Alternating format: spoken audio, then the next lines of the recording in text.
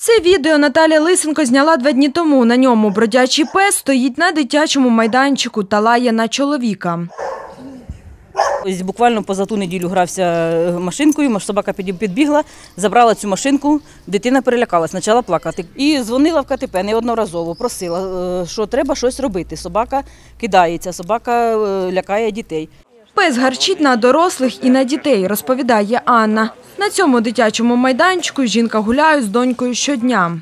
На мою дочку. Він на мою доньку Іванну також накинувся. Мені прийшлося його відганяти тим, що було під рукою. Він так кинувся, але я встигла підбігти і відігнати. Всі діти бавляться в пісочниці і щоразу знаходять сюрпризи від песика. Призи этой собачки. Їсть пес ось тут, біля смітника. Інколи йому виносять їжу мешканці будинку. Він качався, катався на качелі, там була зарита косточка, вона підійшла, почала ричати на нього. Ходить пес у туалет ось у цю дитячу пісочницю, розповідає Дарина. Неодноразово було те, що вона катається на самокаті, на велосипеді, і ця собачка підбігає, прямо за ножку хватає. Дитина боїться собак тепер. Вона, мабуть, не має ні прививок.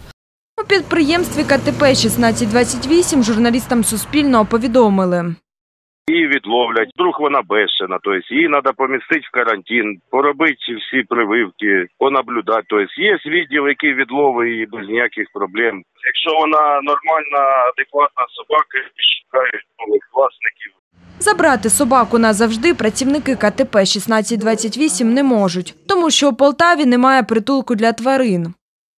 Підтверджених фактів покусів у нас немає. Тварини, які е, не кусали людей, вони відловлюються, стерилізуються, вакцинуються від сказу і випускаються в попереднє місце. На жаль, е, вирішити по-іншому на даний час у нас е, ніяких методів більше немає. У Полтаві існують приватні пункти перетримки. Їх волонтери створюють самостійно. Там тимчасово розміщують тварин, які потребують допомоги. Юлія каже, проблему з цим безхатько можна вирішити, знайшовши для нього господарів. Валерія Рибалка, Богдан Казиріт, Полтавські телевізійні новини.